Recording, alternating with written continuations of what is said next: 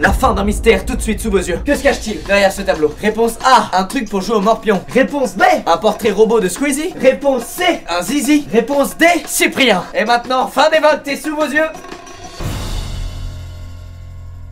Voilà, ils pourront pas percer le mystère avant que je le perce moi-même. Les amis, avez-vous vu la vidéo récente de Seb qui s'appelle Vous et moi, dans laquelle il parle de sa relation avec ses abonnés, comment tout ce délire virtuel se retranscrit dans la vraie vie à travers de vraies rencontres et des vrais moments, parfois cool, parfois gênants, parfois étranges. Allez voir cette vidéo si vous l'avez pas faite parce qu'elle est vraiment marrant et je me suis reconnu dans 100% de ce qu'il a dit. Ça m'a donné une idée et je me suis rappelé de pas mal de rencontres que j'ai fait avec des abonnés dans la vraie vie avec vous, mais du coup des rencontres pas du tout organisées, pas des trucs dans des conventions, pas des trucs où je sais que je vais faire des rencontres, que tu sois avec des proches ou seul, pressé, pas pressé. Dans 98% des cas, quand les gens viennent te voir, c'est bienveillant, c'est respectueux, c'est mignon. Vraiment, c'est trop mignon. Et moi, j'essaie de renvoyer du gentil en face, mais je vous connais pas, donc je galère à trouver les mots. Euh, ouais, et toi, euh, euh, tu vas, tu vas être une super maman plus tard, je pense.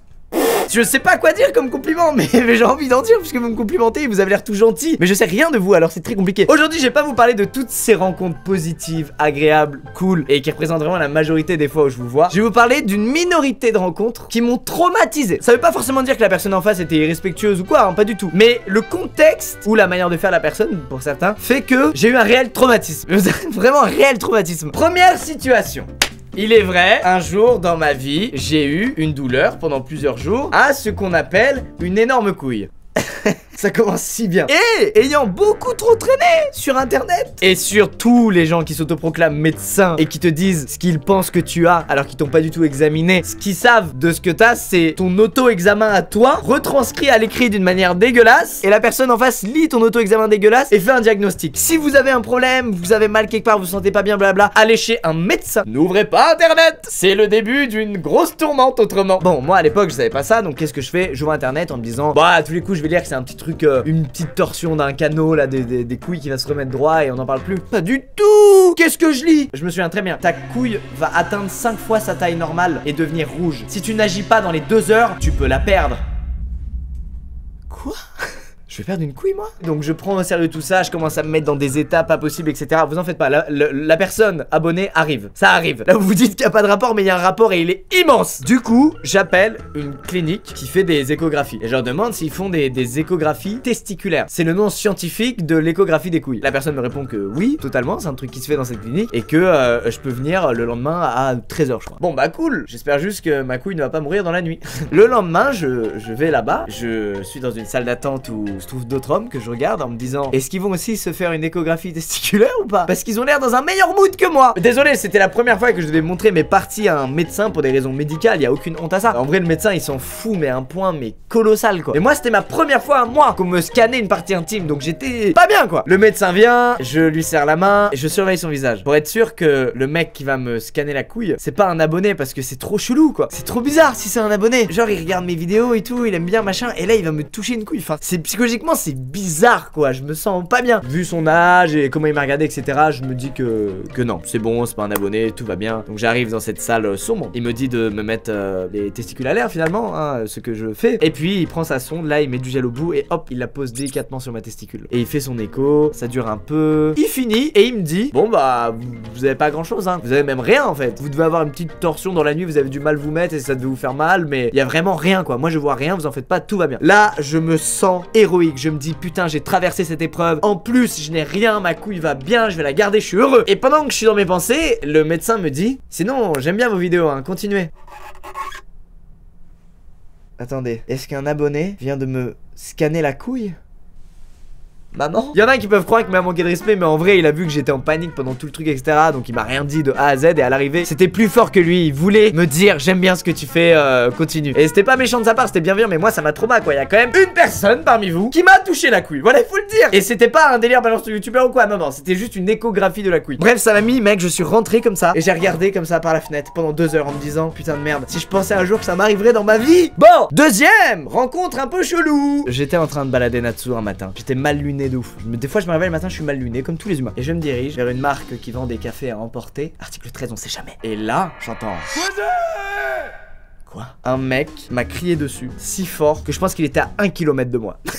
Il était à 1 km. Et quand c'est comme ça, en fait, j'ai un peu peur de l'effet zombie. Genre que tous les gens tournent la tête vers moi, etc. Et j'aime pas du tout me faire remarquer dans la rue. Euh, pas du tout parce que je suis une personnalité du net ou quoi. Non, juste parce que euh, je veux pas me faire voir, je suis tranquille quoi. Bah, vous savez, comme quand t'es dans un mood où t'es dans une espèce de solitude, des fois pendant quelques heures, et tu deviens une sorte d'animal quoi. Si on touche, tu fais tu peux mordre quoi, carrément. Bon, bah, je vais marcher et faire genre, je l'ai pas entendu. Il est à 1 km, il va, il va comprendre que je l'ai pas entendu.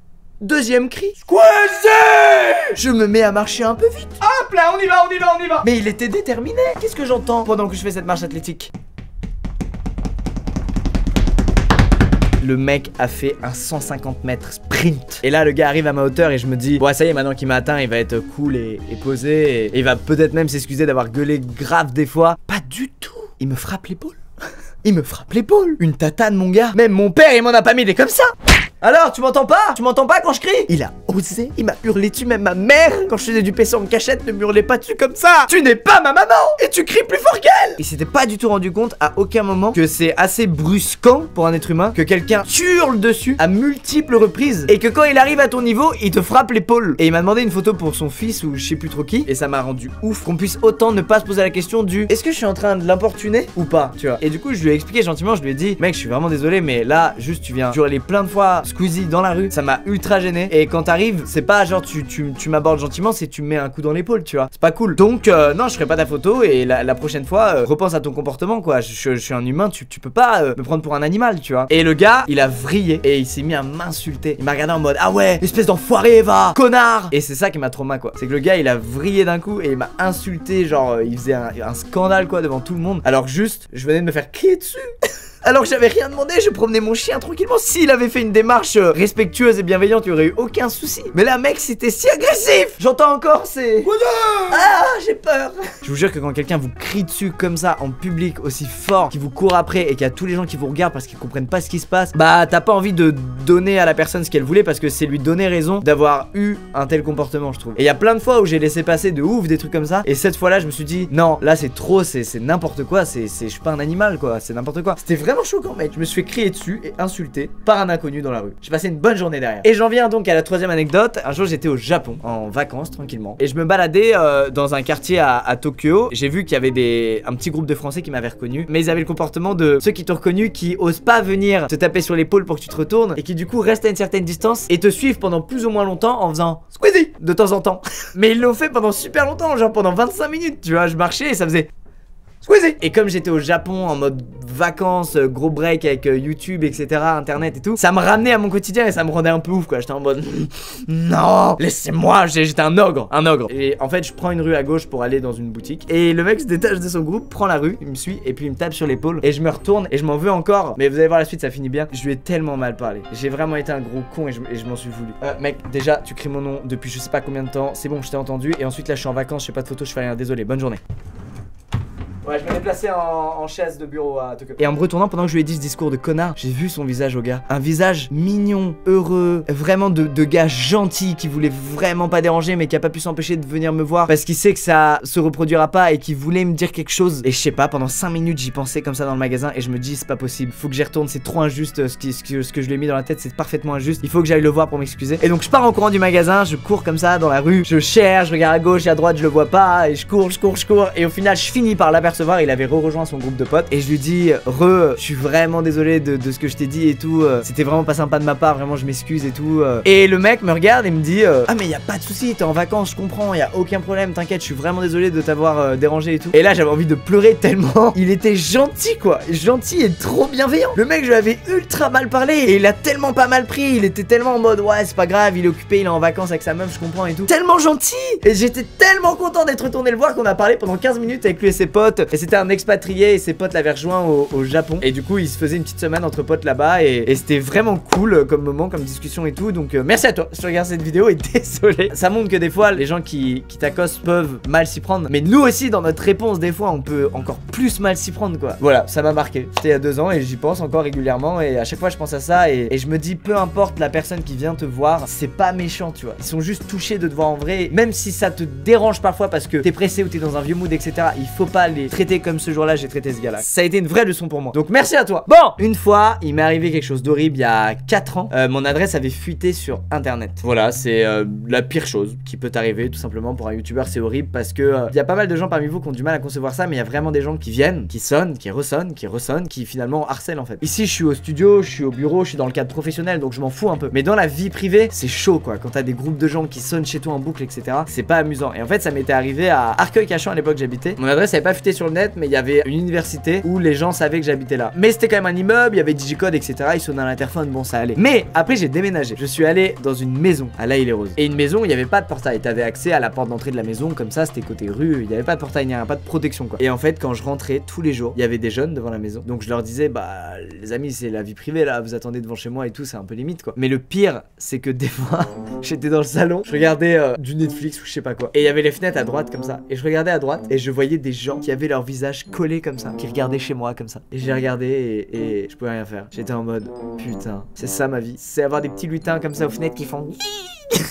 et je sais que c'est trop pas méchant de la part de ces personnes-là. Elles savent pas du tout que ça te fait du mal et que ça te met, ça te met, ça te fout la haine quoi. Elles savent pas du tout, elles se doutent pas. Euh, souvent c'est des gens assez jeunes qui font ça. C'est pas du tout des gens comme mon âge ou quoi. C'est des gens où moi aussi à leur âge j'avais pas conscience qu'en faisant ça, ça importune la personne que tu regardes en fait. Et donc ça a été ça pendant, pendant de nombreux mois. Un big up à tous ces gens qui m'ont vu en slip sur mon canapé et qui sont venus voir à ma fenêtre. J'espère au moins que vous, vous passiez un bon moment. J'espère que le spectacle était à la hauteur de vos attentes. Et dernière chose, une rencontre il y a pas longtemps que j'ai faite. Il y a aussi des gens qui sont ultra mignons. Ils viennent et ils veulent absolument pas te déranger. Même si tu leur dis euh, non mais tu me déranges pas, ils vont te dire si si je te dérange, je vois bien, au revoir, euh, t'inquiète, je t'aime, au revoir. Et c'est trop mignon de leur part. Et en fait, ils t'aiment tellement qu'ils veulent pas prendre le mini risque de t'importuner parce que ça les ferait chier. Je trouve ça tellement, tellement adorable. Et ce matin encore, au moment où je tourne cette vidéo, euh, un gars que je vais appeler Monsieur Super Drive parce qu'il avait un sac à dos Super Drive, c'est tout ce dont je me souviens. Gros big up à toi, si tu regardes cette vidéo. Et il est venu et il me dit, je sais pas t'importuner, mais merci pour tes vidéos. Elles m'ont aidé dans un moment de ma vie où j'étais pas très bien. Elles m'ont vraiment fait du bien. Depuis, j'ai remonté la pente, mais voilà, je voulais te remercier pour ce que t'as fait pour moi et bonne continuation. Et il se barre comme ça. Et moi, j'avais envie de lui parler. Monsieur Super Dry, attendez, vous êtes vraiment sympathique. Et lui, il partait quoi qu'il arrive, comme s'il était mort et que son âme était restée sur terre et qu'il avait besoin de me dire ça avant de s'envoler au paradis, tu vois. C'est vraiment ce que j'ai ressenti. J'aurais pu crier, faire ce que je voulais. Non, il partait. Il a dit ce qu'il avait à dire. Il part, la tête haute et heureux de ce moment. Très court, mais très intense. Donc voilà, n'hésitez pas à faire un gros big up à Monsieur Super Dry dans les commentaires, ça lui fera plaisir. Il était adorable. C'est la fin de ces péripéties qui sortaient du commun. Bah, il y a eu plein d'autres rencontres où il n'y avait pas des trucs euh, comme ça, qui étaient beaucoup plus tranquilles, normales et cool. Mais là, c'est vraiment celles qui m'ont marqué. En tout cas, si vous croisez euh, un youtubeur ou un, chanteur ou un acteur, je sais pas, que vous adorez, que vous voulez aller le voir, faites-le toujours dans une démarche respectueuse. C'est-à-dire, s'il est en famille ou, avec sa meuf, vous savez que c'est un moment où il est en train de kiffer avec des gens et que du coup, vous coupez ce moment-là si vous allez le voir. Criez pas son nom, allez le voir tranquillement en discret, hop, et je vous jure que là, il y a aucun problème. Et parfois, même moi, comme je disais, quand je suis à la boulangerie ou en train de sortir Natsu et tout, ça me dérange pas de vous parler pendant un petit moment. Mais parfois, quand je suis pas disponible, entre guillemets, bah je vais, je vais écourter le truc, je vais être moins euh, dedans quoi. Euh, mais faut pas en vouloir, c'est juste qu'il y a des moments pour, des moments qui sont moins pour. Et dans tous les cas, c'est cool, mais parfois, ça peut être plus court que d'autres moments. Voilà, je sais pas si je suis très clair. À bientôt tout le monde, au revoir. Et mais, mais c'est Seb là-bas Seb Eh Seb Eh t'es youtubeur non? Seb